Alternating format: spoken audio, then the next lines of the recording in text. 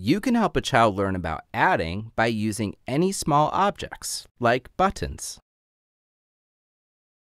For example, you can place two buttons in front of the child and ask, How many buttons are there? The child can count them and say, Two. Then you can add three more and say, If we get three more buttons, how many are there now? The child can count them again and say, Five. And you could say, That's right, when we have two and add three more, we have five. This activity will help a child start to understand basic addition.